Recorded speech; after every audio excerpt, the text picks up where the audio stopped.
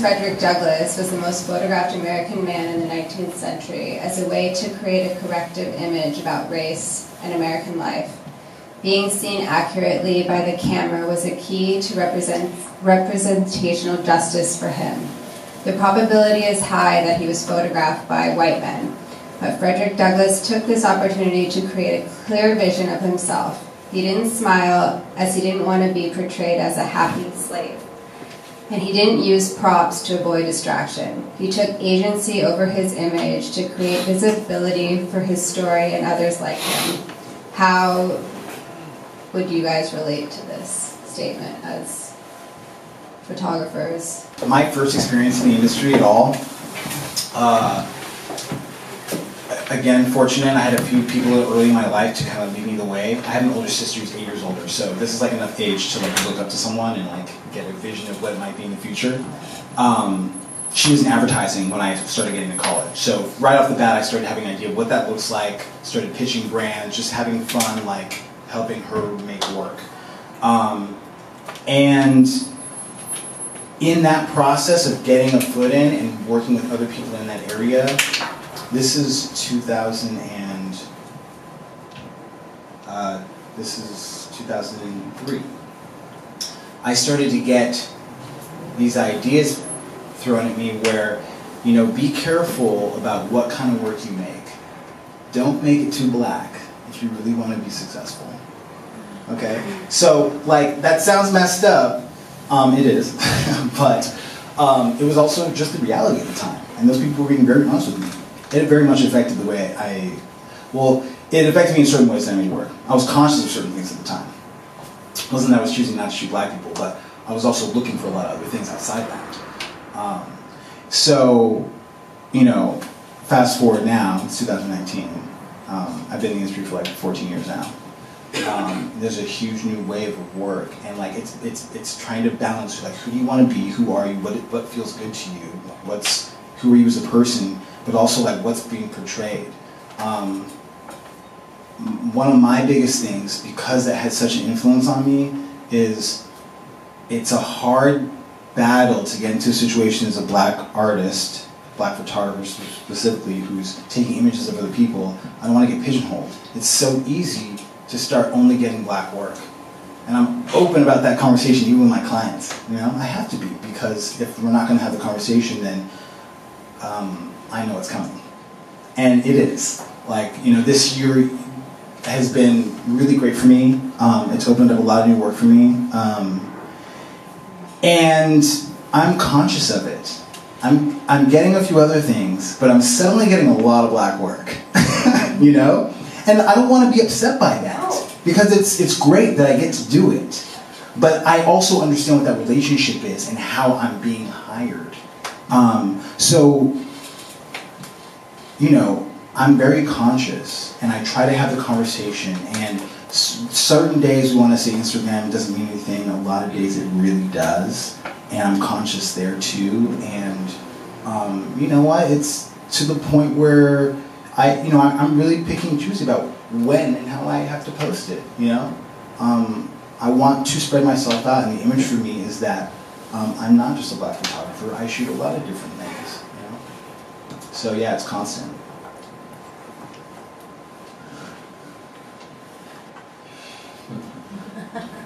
So as um, a creative director and um, a stylist, I am very conscious of, um, I, I, think I start my work from the point of, um, uh, you know, um, needing to tell a story, and especially um, some of the editorial shoots that we've sort of done at Nasty Boy, um, while they've been the most impactful aspect of a Nasty Boy, because uh, truly pictures and visuals do tell a thousand stories.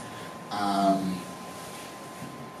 I found that I was able to use um, makeup, fashion, and um, you, know, you know, clothes and all that as um, a medium to tell a bigger story, um, whether it's um, you know, questioning um, masculinity or, um, you know, the, you know, gender expectations and all that, or um,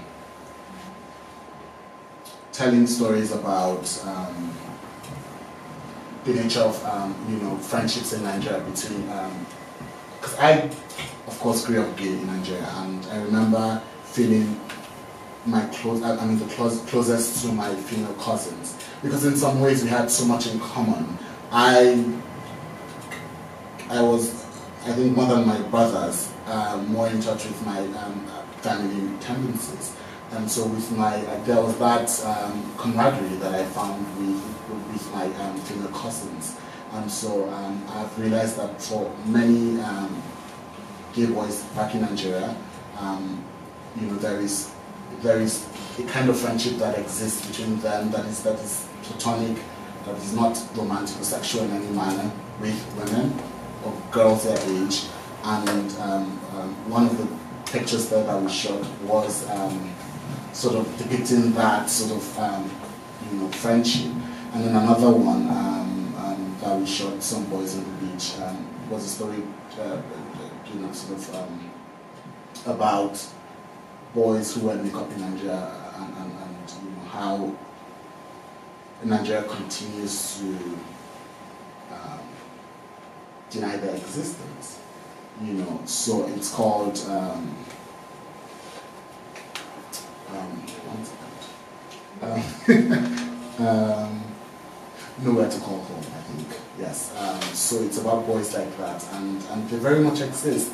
And so it was about creating that space for them, and um, the, the, the, stories, uh, especially specifically, was for i-D magazine, and, and I think we focused, and the interview was also focused on that, um, on, on that subject. So as much as I can, I try to to to use um, um, the visuals that I direct and, and style and whatnot to tell a story that is um, impactful and has like a real life uh, uh, value to it.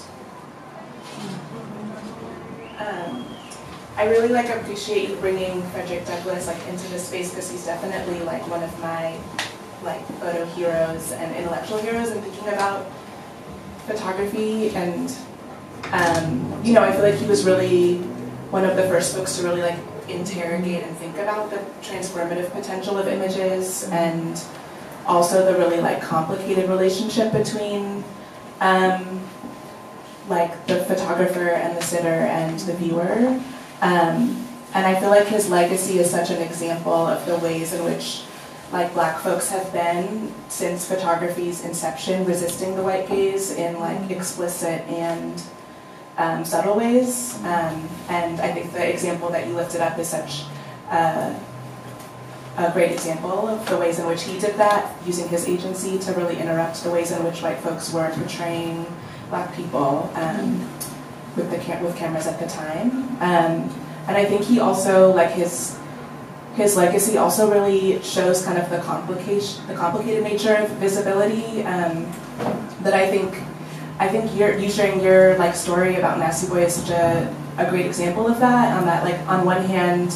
Um, increased visibility can be a tool for like to affirm identities to kind of correct historic omissions, to memorialize stories that are silenced, but then at the same time, increased visibility can lead to targeted violence against those communities or um, or or kind of similar to what you were saying about kind of being siloed into this like relegated to this like one space in the industry of of then you become like the sole representative for that group and your group and your identity is presented kind of as a monolith. Um, and I think we're seeing that so much today, like even with so much like trans POC visibility, like there's still um, like hella violence and brutality against the trans trans women and, and trans POC um, women specifically, and um, and like how can we hold both of those like complexities, right? Like that there is a we're saturated with visibility, but at the same time, there's still these um,